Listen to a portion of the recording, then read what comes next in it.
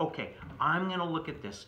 It takes five to make a whole. I'm thinking like one hand is the same as five fifths. And I can write that five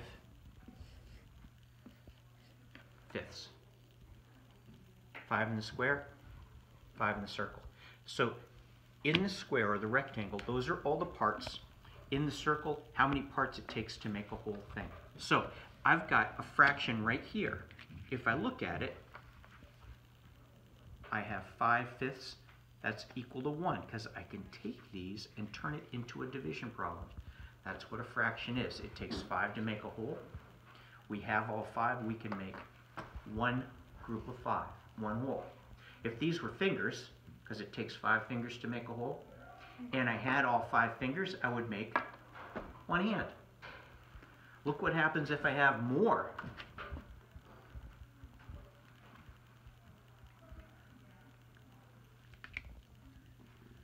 Now I've got six fingers. Can I make a whole thing? Yeah. Look, it turns into a division problem. I can make one whole, and I have One. one fifth. Fifth. More than that.